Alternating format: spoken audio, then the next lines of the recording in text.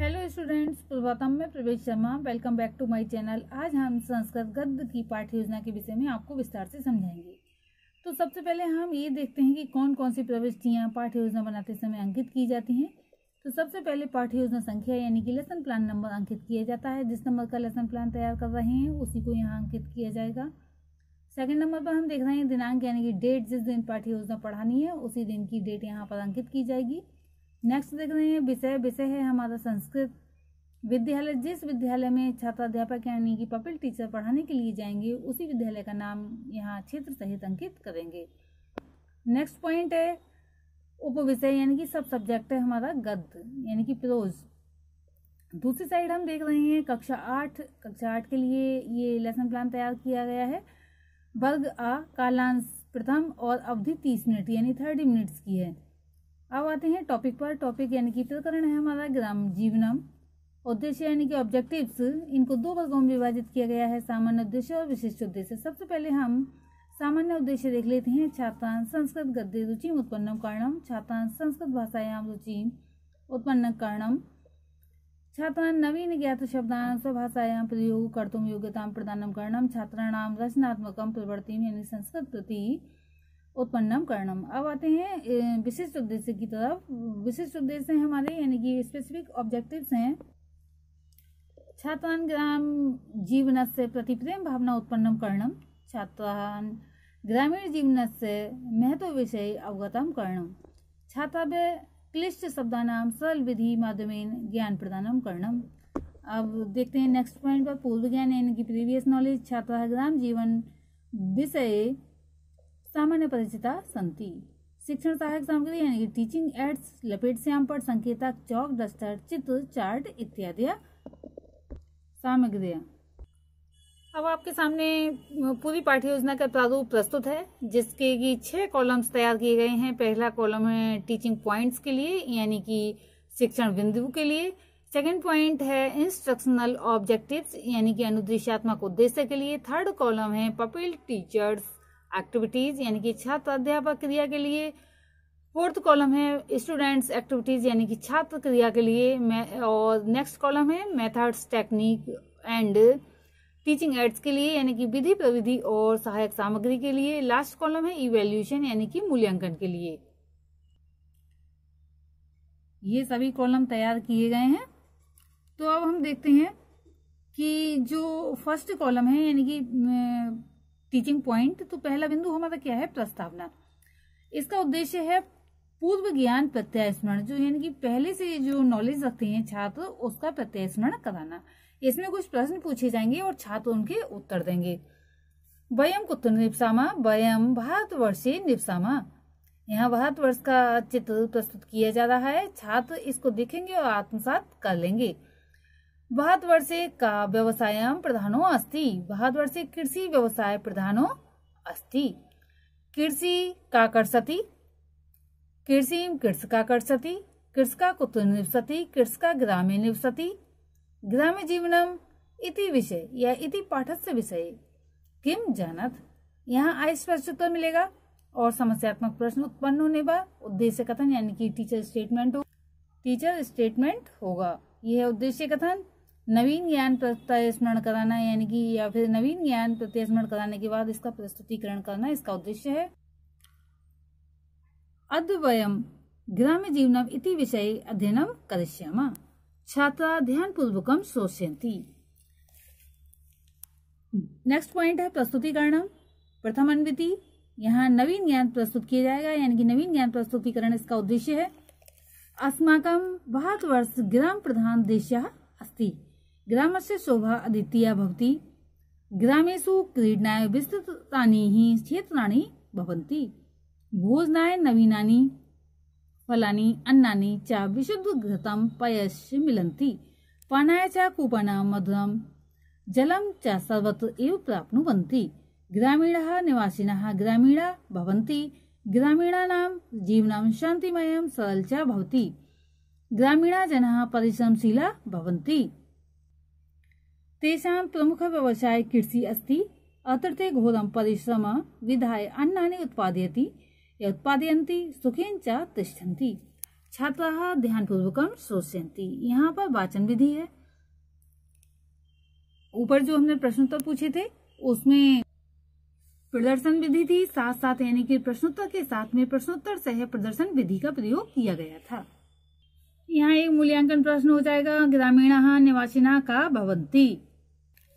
Next teaching point है आदर्श वाचनम, श्रवण कौशल विकास, छात्राध्यापिका शुद्धोच्चारण अल्प विराम पूर्ण विराम इत्यादि ध्यात्वा उचित आरोह अवरोहन सह आदर्श वाचनम करिष्यति। छात्राध्यान पूर्वकम श्रोष्यंती यहाँ श्रवण वाचन विधि का प्रयोग किया गया है। नेक्स्ट पॉइंट आ रहा है, अनुकरण वाचनम, वाचन कौशल का विकास, यानी कि वाचन कौशल विकास। छात्राध्यापिका छात्रा शुद्धोच्चारण स्पष्टीकरण सहित अनुकरण वाचनम कर्तुम दास्यति। छात्र अनुकरण वाचनम करिष्यन्ति। यहाँ वाचन विधि का प्रयोग किया गया है। नेक्स्ट टीचिंग पॉइंट आ रहा है शुद्धोच्चारण श्रवण कौशल, भाषण कौशल का विकास। छात्राध्यापिका छात्रेभ्य कठिन शब्दान उच्चारण हम कर्तुम आदिश्यति। छात्रा शुद्धोच्चारण करिष्यन्ति। यहाँ जो शब्द हैं, उनका उच्चारण छात्र करेंगे। शब्द ग्रामीणा नाम शांतिमयम अन्नानी उत्पादयंती कूपानाम। क्रीडनाय नेक्स्ट टीचिंग पॉइंट है, शब्दार्थ ज्ञान, बोध, श्रवण, कौशल, भाषण, कौशल विकास, इसका उद्देश्य है, शब्द अर्थ दिए गए हैं, इनके वाक्य प्रयोग भी छात्रों के द्वारा निकलवाए जाएँगे, बनवाए जाएँगे। भवती होता है भोजनाय, भोजन के लिए ग्रामीण, ग्राम के जन, सर्वत्र सभी और उत्पादयंती उपजाते हैं या उत्पन्न करते हैं। वाक्य प्रयोग शरीर स्वस्थ भवती शरीर स्वस्थ होता है। भोजनाय नवीनानी अन्नानी मिलंती। भोजन के लिए नए अन्न मिलते हैं। ग्रामीण जन सरल स्वभाव भवंती। सर्वत्र सुषमा जनते ते अन्न उत्पादयंती यहाँ अर्थग्रहण विधि का प्रयोग किया गया है। नेक्स्ट टीचिंग पॉइंट है। मौन वाचनम। वाचन कौशल का विकास इसका उद्देश्य है। छात्राध्याप का छात्र मौन वाचनम करतुम आदिश्यति छात्रा मौन वाचनम करिष्यंती यहाँ वाचन कौशल का विकास है। क्योंकि वाचन का ही रूप है मौन वाचन। वाचन विधि का प्रयोग किया गया है यहाँ पर। नेक्स्ट टीचिंग पॉइंट है। विचार विश्लेषणात्मक प्रश्न। यहाँ कुछ प्रश्न पूछे जाएँगे और छात्र उनके उत्तर देंगे। तो पहला क्वेश्चन है ग्राम से शोभा कीदृशी भक्ति? ग्राम से शोभा अद्वितीय भक्ति? भोजनाय कीदृशी? फल अन्नानी मिलंती भोजनाय भोजनाय नवीनानी फल अन्नानी मिलंती पानाय सर्वत्र का प्राप्नोति? ग्रामीसु सर्वत्र पानाय मधुर जलम प्राप्नोति यहाँ पर आप देख रहे हैं, जो साधन है, जल प्राप्ति के कुआ, कूप, यानी कि कूप और जो पानी के गाँव में खेत आदि की सिंचाई में प्रयोग किया जाता है, इस प्रकार के साधन प्रयोग में लाए जाते हैं। ये चित्र के रूप में बच्चों को दिखाया जाएगा, यानी कि स्टूडेंट्स के लिए प्रदर्शित कर दिया जाएगा और स्टूडेंट्स इसको आत्मसात कर लेंगे। नेक्स्ट क्वेश्चन है, ग्रामीणा कैन प्रकार निपसंती, ग्रामीणा सुखपूर्वकम निपसंती। यहाँ प्रश्नोत्तर विधि का प्रयोग किया गया है। नेक्स्ट टीचिंग पॉइंट है, संक्षिप्तीकरणम, श्रवण कौशल, भाषण कौशल विकास, इसका उद्देश्य है, छात्राध्यापक संक्षिप्तीकरण करिष्यति, छात्राध्यान पूर्वकम शोषयती हमारा भारतवर्ष ग्राम प्रधान देश है, गाँव की शोभा होती है, गाँव में खेलने के लिए बड़े मैदान होते हैं, भोजन के लिए नए फल, अन्न, शुद्ध दूध और दही मिलते हैं। पीने के लिए कुएँ मधुर जल सर्वत्र प्राप्त होते हैं। गाँव में रहने वाले ग्रामीण होते हैं। गाँव का जीवन सादा और सरल होता है। और यहाँ के लोग जो हैं, यानी ग्रामीण मेहनती होते हैं। ये आप चित्र देख रहे हैं। मेहनत करते हुए ग्रामीण जन, यानी कि ग्रामीण व्यक्तियों का, उनका प्रमुख व्यवसाय कृषि है। यहाँ वे घोर परिश्रम से अन्न उत्पादित करते हैं और सुख से रहते हैं। यहाँ व्याख्यान विधि का प्रयोग किया गया है। नेक्स्ट टीचिंग पॉइंट है श्याम पट सारांश निरीक्षण कार्य। लेखन कौशल का विकास इसका उद्देश्य छात्र अध्यापिका, छात्रान् श्याम पटसादांश कार्यष्यति निरीक्षण कार्यायुष्य करिष्यति छात्रा निर्देशानुसार श्याम पटसादांश अभ्यास पुस्तिका लिखिष्यन्ति, पूर्व दिवस से गृह कार्य निरीक्षितम करिष्यन्ति। श्याम पट कार्य। श्याम पट पर समस्त प्रविष्टियाँ अंकित की गई हैं। दिनांक विषय, उपविषय, दिनांक जिस दिन ये लेसन प्लान पढ़ाया जाएगा, उसी दिन की यहाँ अंकित की जाएगी। विषय संस्कृत है, वो विषय गद्य यानी कि प्रोज है। क्लास यानी कि कक्षा आठ के लिए तैयार किया गया है। वर्ग आ, कालांश प्रथम और अवधि तीस मिनट की है। अब हम देखते हैं प्रकरण यानी कि टॉपिक ग्राम, जीवनम। यहाँ जो कठिन शब्द या शब्दार्थ हैं, वह यहाँ पर बच्चों को समझाए जाएँगे। भवती होता है भोजनाय भोजन के लिए, ग्रामीण ग्रामीणी लोग। सर्वत्र सब जगह उत्पादयंती उत्पन्न करते हैं। ग्रामीण निवासीना ग्रामीण भवंती, ग्रामीण जीवनम शांतिमय सरलम च भवती। ते जन परिश्रमशीला भवंती तेषाम प्रमुख व्यवसाय कृषि अस्ति। इसका भावार्थ है गाँव के निवासी ग्रामीण कहलाते हैं। होते हैं। गाँव का जीवन शांति में सरल होता है यानी कि शांति में और सरल होता है। वे लोग परिश्रमशील होते हैं और उनका प्रमुख व्यवसाय कृषि है। इस पर, इस प्रकार से जो श्याम पट का सार है वो सभी अपनी अभ्यास पुस्तिकाओं में छात्र उतार लेंगे। नेक्स्ट टीचिंग पॉइंट और लास्ट है होमवर्क यानी कि गृह कार्य।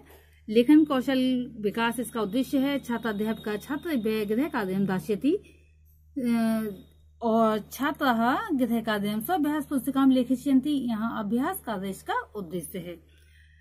होमवर्क है, यानी कि गृह कार्य है। कृष का किम कुलवंती। छात्र इसके आंसर, यानी कि उत्तर घर से लिखकर लेकर आएँगे। ये जो था लेसन प्लान कंप्लीट हो चुका है। आज के लिए इतना ही। धन्यवाद।